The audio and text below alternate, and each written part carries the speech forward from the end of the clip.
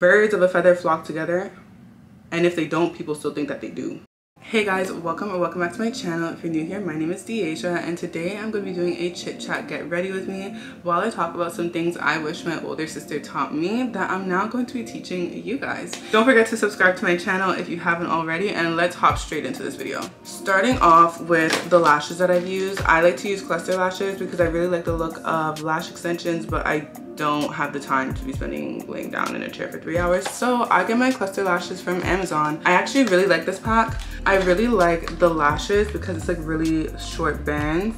These short bands give a lot of range, which is what I really like. Not the biggest fan of the glue. I feel like I've used better glue. I like for my lashes to last about five to seven days minimum. And I think these lashes are on day three, maybe day four now. Lashes are on day four now, so they're not doing too bad, but I feel like I have used better glue. So before doing my makeup, I actually like to start off with my edges. I'm gonna go in with my easy edges and because it is summertime, it is literally a heat wave, I like to put literally the smallest amount of Got2b glue, like this one, on my edges and it holds all day through the sweat, through everything. So now I've had the urge to do this video for so long. Um, somebody mentioned to me that I should do a video like this.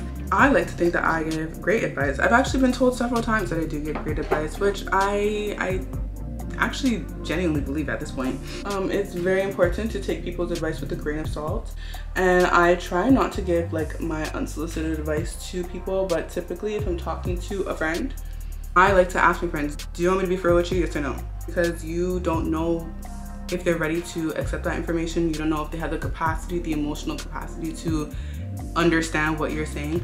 I'm gonna be showing you guys my everyday makeup routine. I like to use Shine 'n Jam on my eyebrows because I feel like I like the hold personally. I like how it keeps my eyebrows the way I put them throughout the day. And I know there's some eyebrow gels that do that, but honestly, I haven't, I haven't got, I haven't found my eyebrow gel. And until then, these are my dynamic duo. Moving on, because this is my everyday makeup routine, I'm going to be using a mix of drugstore products and Sephora products. Starting off with my Maybelline 30 hour hold foundation love this stuff the first thing i want to start off with is something that i feel like um, i had to learn the hard way you cannot force yourself in environments that are not for you there, like there's no such thing as being the exception. If the environment is not for you, you need to not be in that environment. And I used to think that I could, you know, I could be in an environment and it wouldn't affect me or the people around me wouldn't affect me but that is not true. It's not true at all. You can tell yourself that you are strong-minded and that you don't succumb to peer pressure and you're headstrong and all that but the point is you cannot flourish in an environment that is not good for you. You cannot grow in an environment that is not serving you. So if you're always hanging around people who who vape or um, who swear a lot or who are you know um, I don't know serial daters if you're only focused on not vaping or not swearing, you might just become a serial dater because you weren't paying attention to that because you thought it wasn't something that you needed to pay attention to and that just so happened to be the thing that slipped between the cracks. Like there's no such thing as being the good exception in a bad environment. If a place or people are not good for you, you cannot grow as a person. You might pick up on tendencies that you didn't realize that you were picking up on. You just accepted that that's something that you kind of want to do now because you have normalized it in your life. And that also ties into don't force yourself into spaces that aren't meant for you. Unfortunately, if a space is not meant for you, you go where you're loved.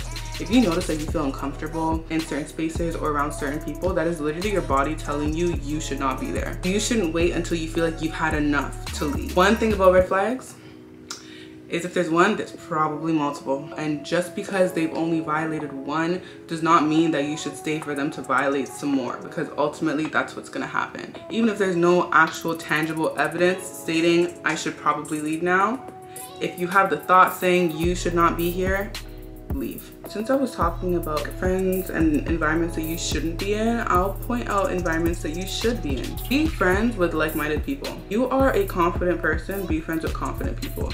If you are an outgoing person, be friends with outgoing people. If you are an ambitious person, be friends with ambitious people because this world is crabs in a bucket. A lot of the things that we see in friends we might not recognize is not good for us. And oftentimes people realize once it's a little bit too late. People often realize once they've been hurt so badly or they feel like they're on their last legs you don't have to wait until we're on our last legs to leave. It is okay to leave prematurely. It is okay to leave respectfully. You don't have to wait for it to become a big thing. People around you play a big role in shaping who you are and who you could become. You know the saying, be friends with millionaires, become a millionaire, be friends with bums, become a bum.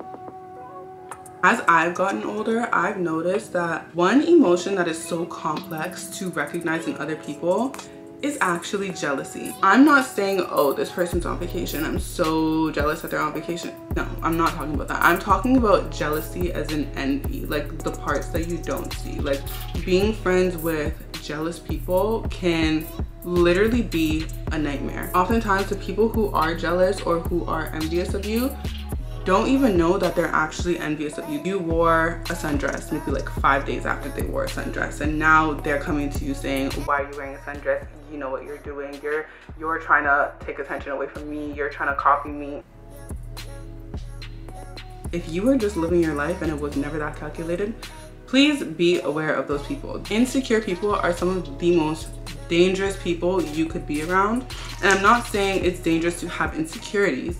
I'm saying insecure people, people who are rooted in their insecurities are not good people to have around you, especially if you triggered their insecurities. You will never know peace. And it is completely normal to have insecurities. Everybody has insecurities. And honestly, it's your job to talk yourself through those insecurities. People who listen with their triggers, especially when it comes to their insecurities and often project their insecurities onto you or make you feel like you cannot praise yourself because they have insecurities. It's time to wrap that up.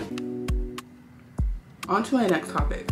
Be busy be busy and have a life have a schedule have a schedule that you stick to have hobbies that you actually enjoy so that your life does not revolve around other people and social media. And honestly, that is a lot easier said than done. It's crazy that I'm even bringing this up because I literally just deleted TikTok from my phone. Like I'm I'm personally on a TikTok cleanse because TikTok is the most addictive app on my phone right now and it is so time consuming. And if i'm saying that someone who is hyper aware of their screen time i can only imagine what it's like to not be hyper aware of your screen time. How i think about it is there's 24 hours a day and your screen time is 12 hours. That means you're on your phone for 12 hours of the 24 hours which leaves you with 12 hours. In 12 hours you are sleeping you are eating you are talking to people you are looking up from your phone for a total of 12 hours. And even if you sleep for like, let's say even six hours, that leaves you with six hours of being in the real world. Like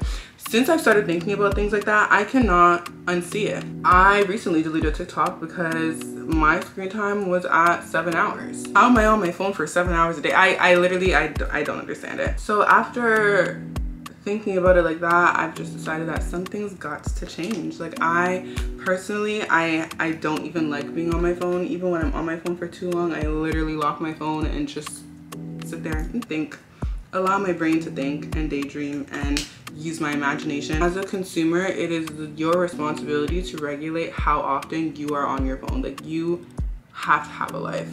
Outside of tv shows outside of social media outside of listening to music like what are your actual hobbies? What is a skill that you can say you can do and you can do well?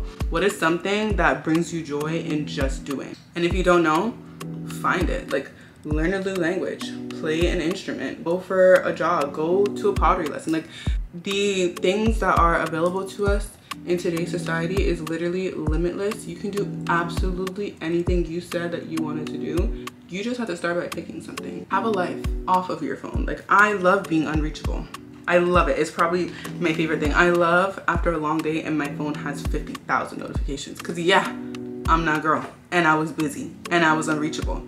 That's how you should be at all times busy and unreachable and working on what's going to take you to the next phase of your life that you are trying to get to. Now, just a little a little side note, I am using both brushes and my beauty blender because I like putting on my makeup with my brushes, but I like blending things out with my beauty blender. Like I like taking excess product off of my face with my beauty blender. Do you notice that somebody around you treats you really well, but treats other people very poorly? Unfortunately, that does not mean that you're a great person and they love you and that you're an exception. Because remember what I told you about exceptions. What it means is it's not your turn yet, but your turn will come eventually. And the last thing you want is to witness how what they did to somebody else is what they're doing to you. That is the last thing that you want. If you see that somebody has a history of treating people poorly, unfortunately, that just means that that person is not for you, especially you often don't agree with how they treat people. It is important as a teenager and as a young adult to learn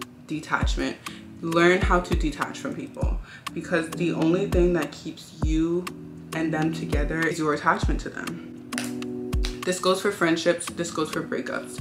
If you feel like there's somebody that you need to release and that you shouldn't be engaging with, learn how to detach because then you're gonna be stuck asking yourself, why can't I let this person go? why am I always back with this person? XYZ, XYZ. It's because you have to learn how to detach from them. Holding on to people that you know within yourself that you need to detach from is only going to cause more disappointment within you. It's only going to increase your tolerance of how much you're willing to accept from people when in reality your tolerance should not be high at all. You, that's why people say you have to leave after the first red flag because there's more red flags. You have to let them do what they would rather do and you do what you would rather do. And if that means that you guys are not meant to be in each other's lives, then that's okay. There's more people. You have not met all the people that are going to love you in this lifetime. And if there's one thing that I had to learn when it comes to detaching from people is it is a let go or be dragged type of situation. Like if you do not let go of people when you know in your heart you are supposed to let go of them, you are only going to regret it. I cannot recall a single time where I did not let go of somebody when I knew that I should have and I didn't regret it. My lashes are already on, so it just makes my makeup feel like it took two seconds. And as you can see, I like to put my blush in a little bit of a C shape, like, like this. I don't know why, I just feel like it just looks like I'm glowing. Like, I always get compliments on my blush and I literally love it. Like blush is that girl. My favorite part of my makeup is my blush.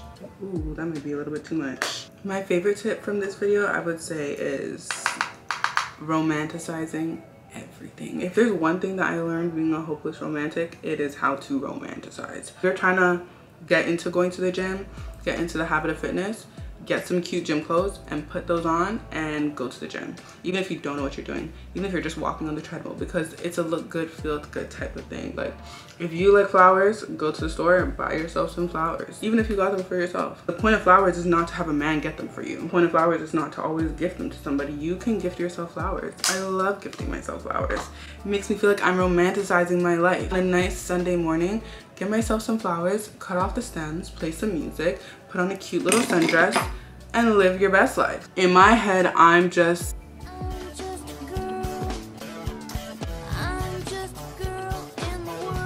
because that's how it should be. Like, romanticize your life. You only get one life. You're only young once.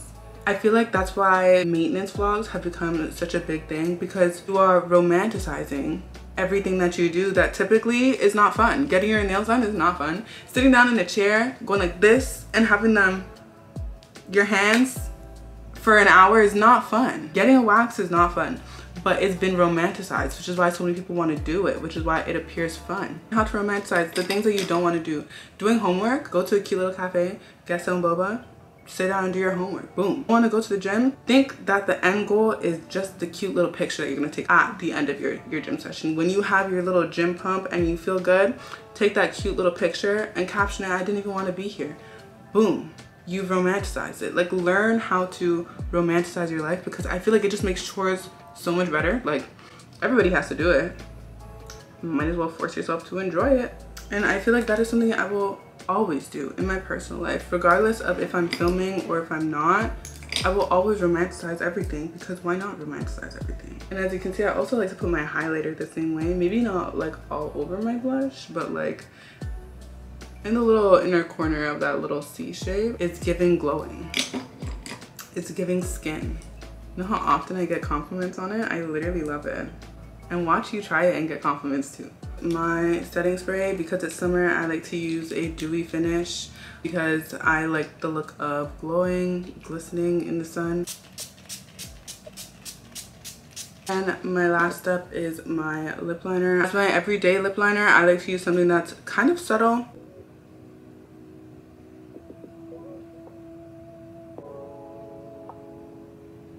and boom you're done quickly after my i finish my makeup i literally just figure out what i'm gonna do with my hair and i put my hair in a ponytail yesterday Maybe I should wear it down today because I haven't worn it down yet. Whenever I have braids, I never wear my braids just like out for some reason. I feel like it always ends up annoying me. I'm going to take a few French strands, put them in a little ponytail under my hair, just like so. I mean, I've been in a silver jewelry phase lately and it's crazy because I don't have much silver jewelry. I definitely need some more. And just like that, I am done. I hope you guys enjoyed this video. Don't forget to subscribe to my channel for more videos like this. And definitely leave a comment down below if there's some more topics that you'd like me to discuss. Or send me a quick DM at that Daj girl and I'll definitely either get back to you or incorporate it in my next chit chat. Get ready with me. I hope to see you guys in my next video. Bye! Also, peep the skin. Shout out to my dermatologist. She got me so good. Bye!